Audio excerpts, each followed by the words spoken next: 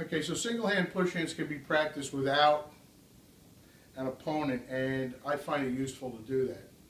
So I'll start with one hand in my center and the other hand in a ward off with the palm facing in. Now, if someone were to push towards me, I'm going to turn like this into a ward off and follow them and pull them back down towards the squat. I don't want to come too far out and put my elbow past side center and affect my position. And I don't want this hand to get lazy. This hand stays.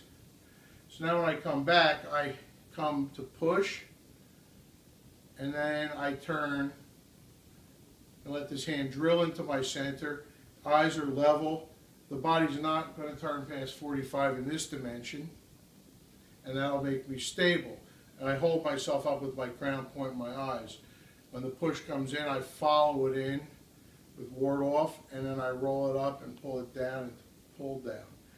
I follow back into push, and here. So I'll just practice yin, yang, yang, yin. Yin, yang, yang, yin. Defense, attack, attack, defense. Defense, attack, attack, defense. It's really all following. When you're pushing, I follow you towards my center and ward you off and roll you off of that center. When you go to correct yourself and stand back, I follow you back with a push. If you attack and pull me, I let you have the arm but not the head, and I turn and I follow and drill in, and I hold this loose arm up with this head.